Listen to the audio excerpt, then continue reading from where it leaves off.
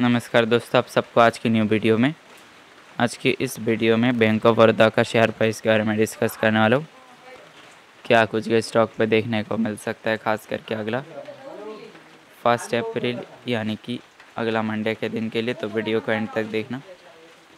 Analyse में इसका daily chart पे करो तो अगर यहाँ से देखे, यहाँ से देख सकते हो स्टॉक अपना। ये जो एक सपोर्ट लाइन है, उसको फॉलो करता हुआ चल रहा है।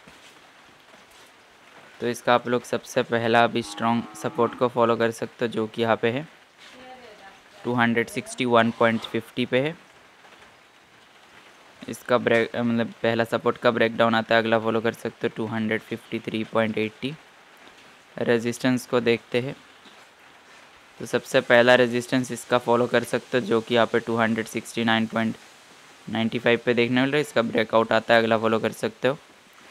277.00 पे फॉलो कर सकते हो इसका अगला रेजिस्टेंस लेवल ओवरऑल देखे, कुछ इस प्रकार से चल रहा था।